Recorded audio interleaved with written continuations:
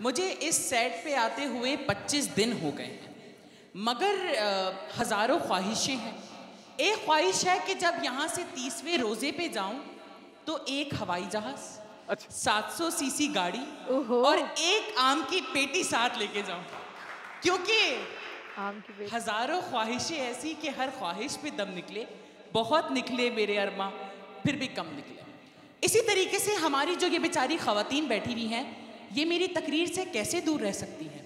ये जब शॉपिंग करने जाती हैं तो ये सात लॉन सात रेशमी और सैकड़ों कॉटन के जोड़े लेने के बाद भी कहती हैं हज़ारों ख्वाहिशें ऐसी कि हर ख्वाहिश पे दम निकले बहुत निकले मेरे अरमा फिर भी कम निकले।